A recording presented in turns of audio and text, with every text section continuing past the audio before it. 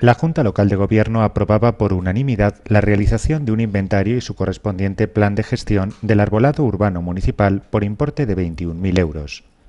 El consistorio continúa así avanzando en la apuesta por el medio ambiente y la sostenibilidad del municipio, impulsando esta iniciativa con la que se pretende dotar a la población arbórea de un sistema de gestión informatizado que facilite el conocimiento del arbolado a fin de garantizar su longevidad y prevenir las posibles plagas o infecciones. Esta aplicación, a su vez, facilitará datos individualizados de cada ejemplar como su geolocalización, identificación botánica, datos dendrométricos y biológicos o su situación de peligrosidad, actualizándose de manera regular de acuerdo a la evolución de la propia población.